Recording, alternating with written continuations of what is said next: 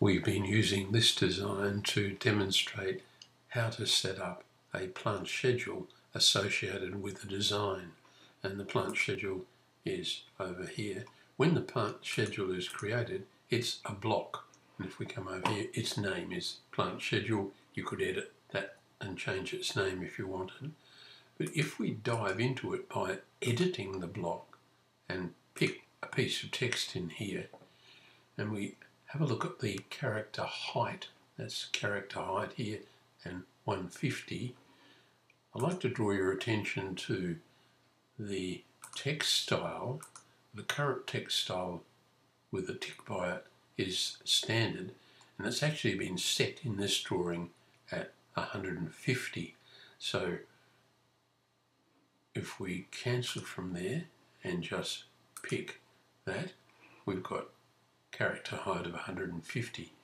If we wanted to, we could rerun the schedule and change the height of text in the schedule. Let's do that and we'll close the editor and we'll rerun GCAD Plus and plant schedules and draw the standard schedule and remember down here we're asked for the text height we typed 150 let's just make that um,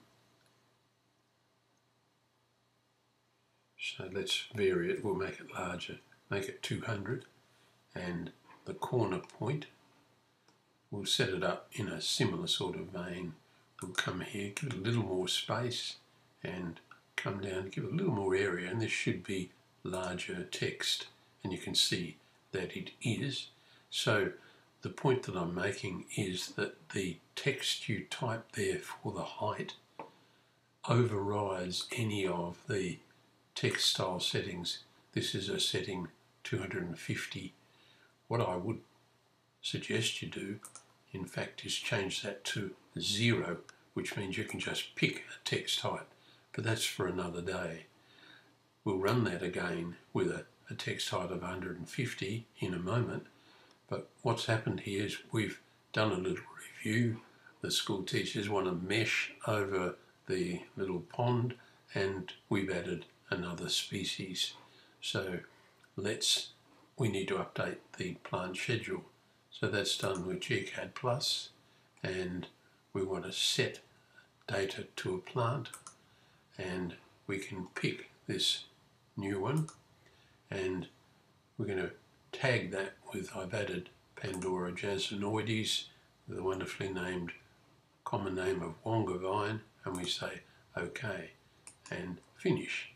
So what we now want to do is to run that schedule again and it should count the number of instances of the vine that we want to place along that wall which has now got a uh, aligned style added to it. So if we pick it, you see it's fence line two, that's put, that puts those little squares in. Let's now update the plant schedule. So we should get one new entry and we'll we update it and we need to redraw it again, don't we? Because Pandorea's in there, but we haven't got enough space. So we need to draw that plant schedule from scratch. And that's interesting. Drawing it from scratch is somewhat difficult. Let's blow that one away.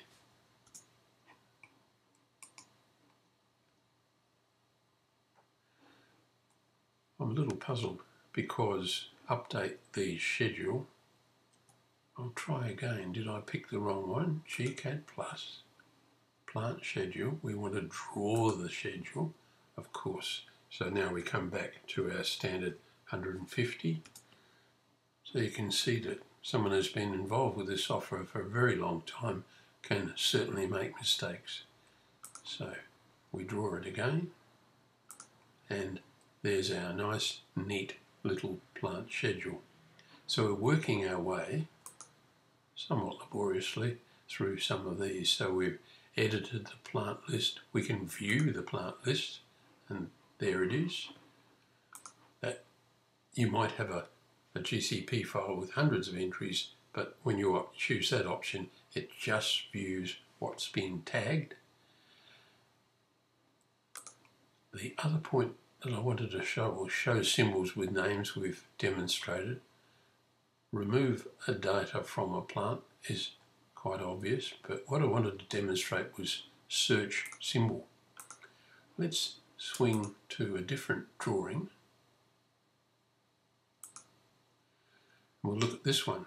It's more complex. If we go GCAD Plus and show symbols with names, most of them are tagged, but we have missed this particular one here, plant symbol 01, and it will be, if we look in the plant schedule and edit it now, it'll be somewhere in this 500 odd entry database.